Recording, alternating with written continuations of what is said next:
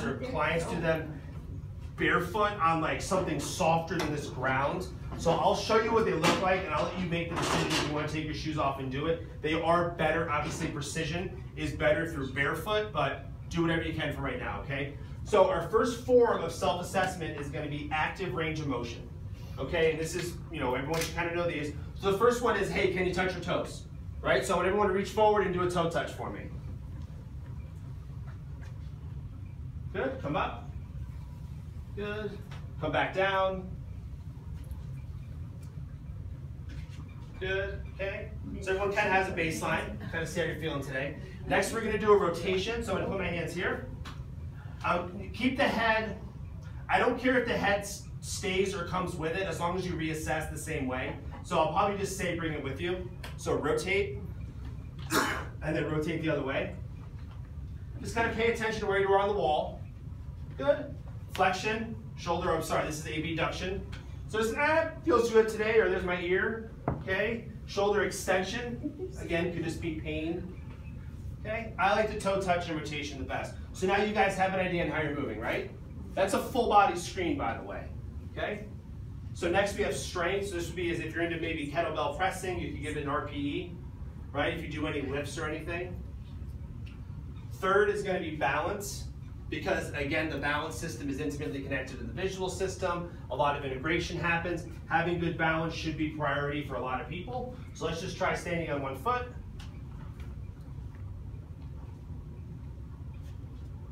Close your eyes.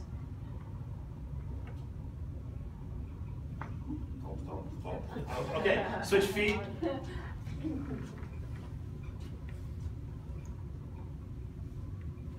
When you get set, close your eyes. All right, relax. Okay, so maybe you have a side that was maybe easier, harder. Yes. Okay, so some people get a lot out of it, some people don't. You got to make this stuff work for yourself. And third would be basically functional activities. We say, what can't you do? And my knee goes owie when I do stuff. Okay, well, let's work on that. Okay? So the first drill, and we're gonna kind of hopefully be able to make it through what we call our six high payoff exercises. These are exercises that it doesn't matter who you are, everyone needs, and then we're gonna get into some visual stuff and then work on some balance and get you guys out of here, right? So the first thing we're gonna work on is called an ankle tilt, all right? So I'm gonna take my shoes off so you guys can see this. If you want to, great. If not, no big deal. The area I'm trying to target is called my talocalcaneal joint. It's a fancy term for my heel, which is really important because my Achilles tendon attaches there a lot of other stuff, all right? But I have kind of a line, so if I go to the ground and this bone right here, everyone could probably do it in shoes. If you creep down, you have a line, and if I roll my, here, come up here, face that way. Put uh, quarter turn put your right foot in front. Okay, there's a small line right here that kind of separates the two joints. So if she rolls it to the outside, that's what we're trying to look for.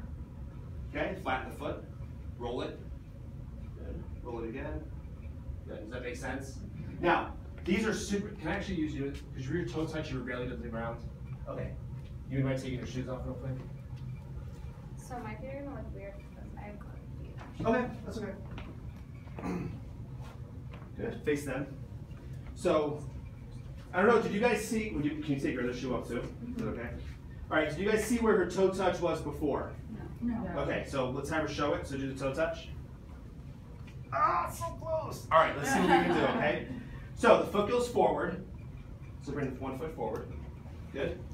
And then she's gonna roll it to the outside. So roll it. Good. And she's doing the best that she can. Maintain like flatten it and do that two more times. Roll. Good.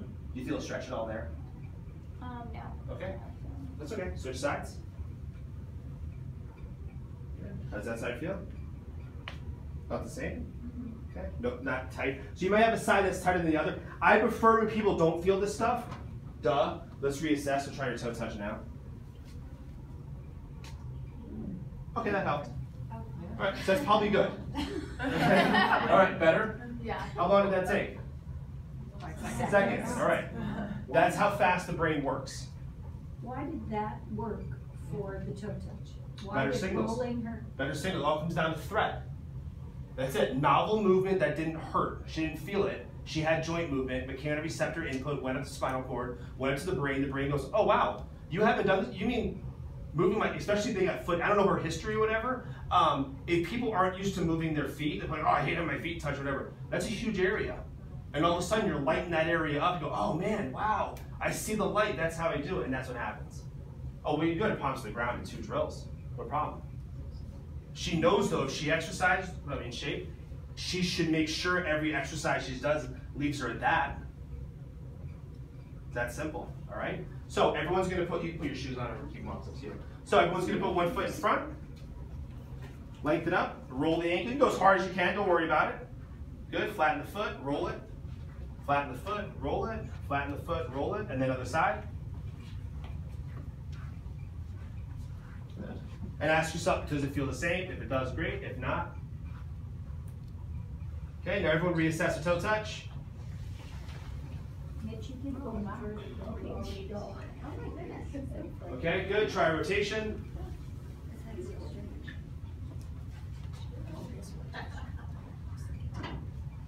Okay, better, worse? Better? Or the same. I mean, it's not a. I mean, it literally is. I mean, they're still good to do. It's just wow, this is a great one, or it's just one you have to not really worry about. All right. So the next one we're going to take care is called the middle toe pull, and what this takes care of is you have a row of bones in your foot called your cuneiforms, and they do a lot of really cool stuff. But for right now, how you stretch them is the right foot comes back here, and I try to point the toe. Now, what you want to, you don't want to do, and it's kind of hard on yourself. That actually looks really good. Um, you use an example here? Does feel good. Turn around. No, just turn around and face them. Yeah. So if you look at her foot, that's like awesome. The foot, it's straight down. What you see a lot of compensations is they do that. The knee caves in, the knee caves out. That's not precision. Those are two different drills we're trying to work on later on. That foot's got to go straight back. That looks really good.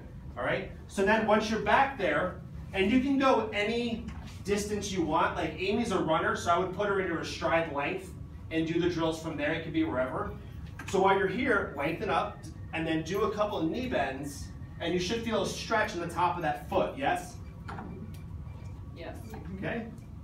And then switch sides. Over here, I can't see. Really make sure if you're in shoes, shoelaces should be pointing down at an angle. Good? And then what do you think I'm gonna ask you to do? Reassess.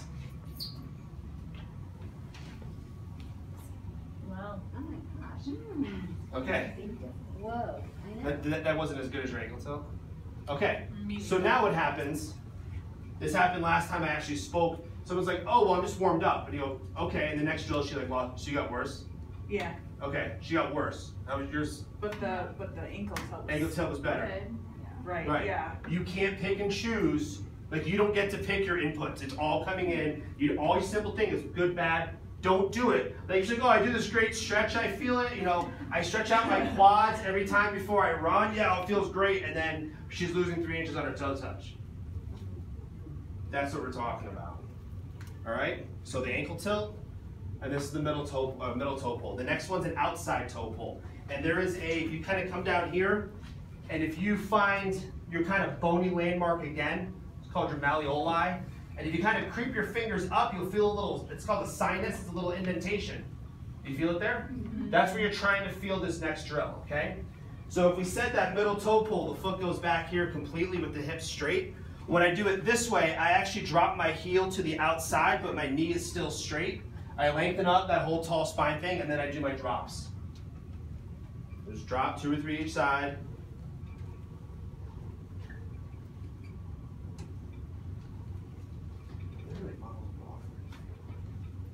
Good. And then reassess rotations, uh, whatever. Or you can do toe touch. Maybe it was all about. all right, go ahead. You can do toe touch. Wait. Oh, yeah. Better, worse, the same? Better. Better. Good. It looks like you're getting further. Same. Same. Well, this much better than the beginning. Right. Yeah. And how? I mean, think about this. How long does this take? Second. Literally, like seconds, guys. Let's go like seconds, okay? All right. So now we're talking about the hip. We'll skip the knee. Um, there are knee circles. Everything we do in Z Health in the beginning stages, if I work with somebody, um, it's all kind of single joint circular motion. So this is a knee circle, and then this is a knee circle here. Okay, we can talk about that later if you want to. So the hips, what kind of so- uh, what kind of joint is it? Ball and socket. Okay? So one end sits in my pelvis, my pelvis sits on top, and I can move it around a lot of positions, all right? I have never met anybody who can control their hips, who has any kind of IT band, hip issues, hip flexor issue, ever. It doesn't happen. All of your muscles, the reason we do all joint work is all the muscles that pass through the hip, you're gonna be moving anyway, so there's no reason for them to be tight because you're already taking them through range of motion. That kind of makes sense? Mm-hmm. Sort of? Okay. So first thing we have to do is find what's called our rehab position. Okay? And how we do this, um, I like to hold on to something for balance. I recommend it when you're first learning the um, or practicing the drills at home. There's tons of YouTube stuff, and I mean this information's somewhat readily available online. Um, but the idea is to not be, oh, I'm off balance. You're not going to hit the target. Does that make sense? Okay. So what you're going to do is one leg's going to come out in front slightly. I'm going to take my finger. I'm going to make a C. I'm going to put it kind of right here. And wherever my middle finger is, if I kind of rotate, I sh that should be my hip crease. You should feel kind of movement there. Does that, everyone feel movement? Okay, we want to be able to, this is not a hip circle. So if you guys teach this stuff or you're, you're, you're trying to learn this stuff, make sure it's the actual hip with the ankle staying straight and not that. Does that make sense? Uh-huh. So now what we're gonna do is you're gonna rotate it out all the way and then rotate it in.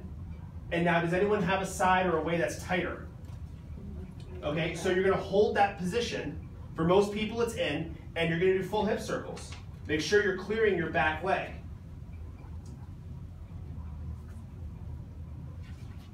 Should clear the back leg? Good. So now if you circle in or out? You, you want to do both directions. Yeah. And because it's a hip, you can do cross. I'm only showing you the, like I have an hour and 15 minutes. So you can do crossbody front. You can figure out how you need to do them. It doesn't matter, okay? Um, it works really good for like, I'll use Amy because I know she runs. Yeah, my hip really hurts here. Okay, well then do your hip drills in that position maybe while you're doing other stuff. Okay, so now test the other side. Don't just presume it's the same. And if you don't have one, if it feels kind of like neutral, then the knee straight ahead. And you can actually, why don't you step forward a little bit so you can, so maybe we can. Wasn't planning. Chin up, tall spine. Good. Now, what you see a lot, yeah, I recommend not doing it by chairs. Um, make sure if you're doing this anywhere and you're holding onto a wall, always do the outside leg because you'll you'll like you'll limit your range of motion just because you don't want to hit the wall. And the other thing I see a lot of people do is they'll miss the actual extension part. So we're not saying this, we're saying is just make sure you can actually get it back behind you. Okay? Uh, the last kind of thing you'll see a lot of too, if people go, oh, I'm in, and they do that, compensation blur, you know, not, do you see what I just did? So if they're holding it in, they may get to a point where it flares out and then does that. So we, when we say in, we mean keep it in. And you'll, you'll get a glute workout for sure, because your glutes do what? Extend your hip and externally rotate. Okay, well, you don't have, like, duh. Okay, everyone reassess.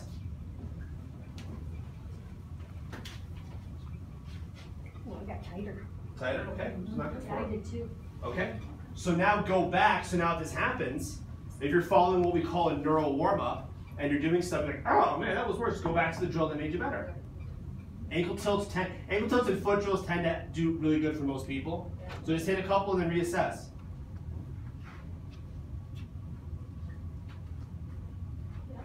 Better? Yeah. All right. Cool. Questions so far? Better? Yeah. All right. Much better, because I, when we first started, I was. Yeah. Better? All right, cool. So, obviously we can do pelvic drills. These are just pelvic tilts, hip hikes, full circles. I don't want to kind. I kind of want to just stick with what I have. Just know that you can do all these things. Okay. So we're going to skip the lumbar spine and go to the thoracic spine. Okay. Um, if you guys, you guys ever like heard of people with like upper cross syndrome? You ever seen this? And what are they told to do for it? stretch your pecs, and you're like, yeah, but my spine is rounded. I'm not sure how targeting musculature is going to change the actual things that's holding the musculature, but I'll give it a shot. And they're like, it doesn't work, but I'm like, you end up with this now. Pinched nerves, crappy range of motion. Okay, so the idea here is to move only the thoracic spine. Okay, and do you guys know how many vertebrae we have in the thoracic spine? Between 11 and 13 would be 12. Very good. A lot of good things happen here right? A lot of good things. So how this looks, I always teach it. I just it's a habit. I've been doing it for years. Is I put my fingers on my sternum. It also works really well if you take like a uh, a yoga block because it gives you an external target to try to go through. But the idea is I'm trying to glide my thoracic spine forward and back, so it would be like this. And then I open up. So it's not this. There's a big distinct difference. Some people think of the collarbones being pulled down and they exhale as they do that and then open up.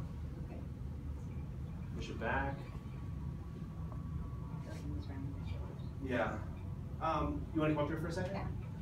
Okay. Help me with this. So a good way to do it, what we try to find, if, if we want movement, we want we don't want lines. We never want to see lines when we move. We want to see arches, because arches look they look prettier versus like rigid, right? Everything's everything should be archy. So have a seat. Slide forward just a little bit. So first thing we'll do is we'll just take a look, and I'm saying that this is her thoracic spine. I don't want to see any flat spots. Spots. So put your fingers here, and then push back. Whenever you're ready. What do you want me to, I, see, I was doing this, but then. No, I that was fine. No, do this. this. No, do what you were doing. That's fine. So now I would say tuck the chin, and i- it's kind of hard here, but you can see it's. I don't know if you can tell it's a little flat here. Okay. So again, sensory feeds motor. You feel where I'm tapping? Yes. Push back. Push back. ah, you're confused. I am confused. Right. Push. Better. And then if you see the lower back move, I kind of sometimes put my hand here or push back. There. Open up. Open up's fine. Open up a little more if you can. Good. Push back. Tuck the chin. And I like to exhale too, so I go and then open up. Good. So that's how you kind of want to hit it. Reassess. Okay, and then try and do, so. Well, what was your assessment? Yeah, but how were your assessment? All right, let's see. That's pretty good. I'll take that as good. Okay, Better? yes. Okay.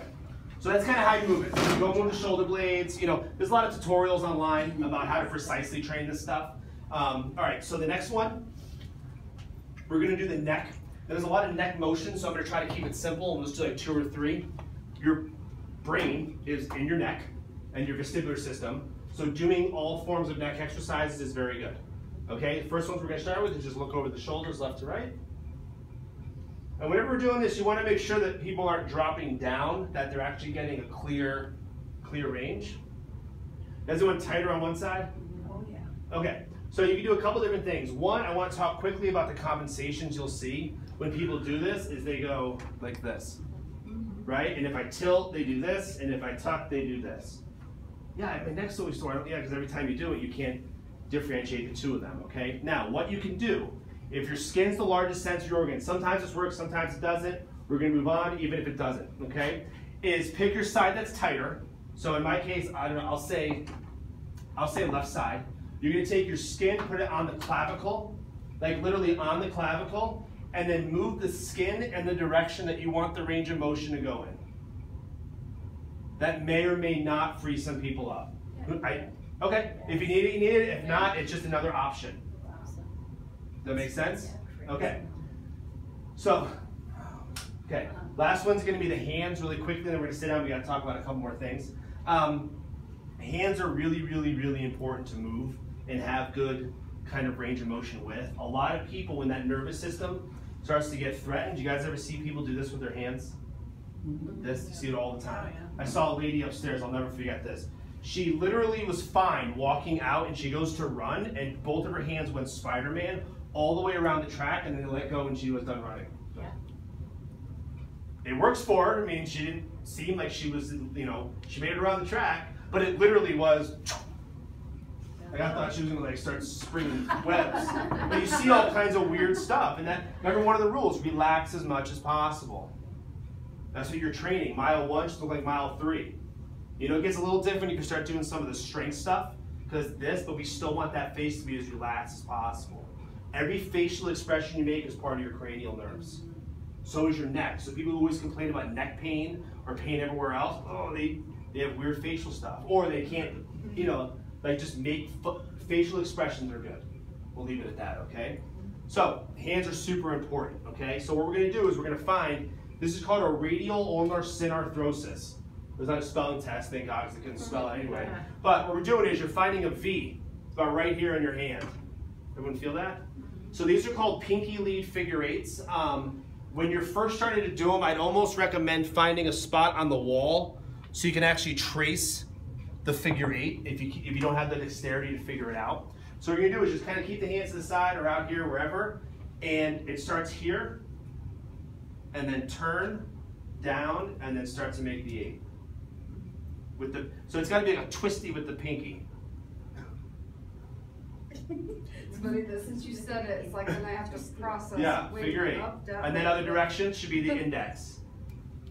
And then you can switch them. There we go. Leading. Okay, now. Yeah, tracing it is a lot easier. All right, and what do you think I'm gonna ask you to do? Read, or rotation, or shoulder, or whatever you want. Better, worse? Worse? Okay. Better, worse, same? So I'll go back to that original question. Is exercise so easy that you can't screw it up? No. Of course it is. Because you have body parts that you're, if you have body part you don't respond well to. Suppose you did this and you play tennis and you always wonder why you're never better, or your wrist always hurts, or you have an office job. I mean, whatever it is, there's there's a case to say no, move the joints. Move them well, tall spine. It, it's not about waiting 12 weeks for something to be not tight or tight muscles. That's not, that's, that stuff doesn't really, I don't want to say it doesn't work, but it, yeah. yeah. I'll just leave it at that, all right? Pull your chairs back out, have a seat. We got to talk about something else.